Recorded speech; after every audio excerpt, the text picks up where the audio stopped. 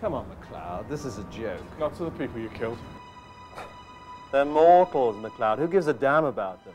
You know, you'd have thought you'd have developed a sense of humor after all these years. How many years have you been doing this? For longer than you've been alive. It's been a hell of a show. It's always the same one.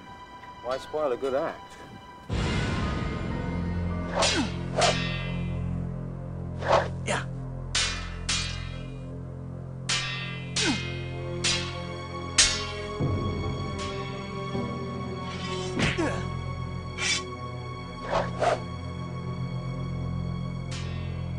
Yeah.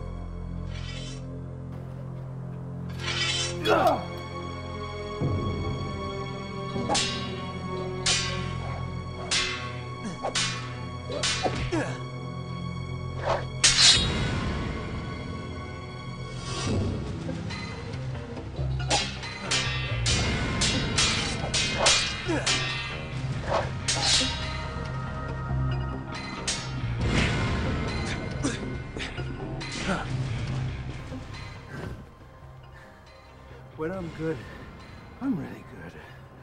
But when I'm bad, I'm great! But